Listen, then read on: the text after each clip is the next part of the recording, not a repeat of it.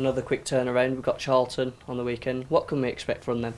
Uh, good side. Um, um, good side who are towards the top of the table and, and deservedly so. So we know it'll be a good test. Um, we made a few signings as well. Um, a few good players. So um, yeah, another game to look forward to. A stern test, but one which we go in, um, know, knowing if we if we play like we can do, then the results there for us. They are another big team in the league, of course, but we have nothing to fear. No, no. Um, I don't fear. Don't fear anyone. Um, uh, I, I look at ourselves and see what we're what we're good at, where we need to improve a little bit, um, because I know that we, we can beat anyone.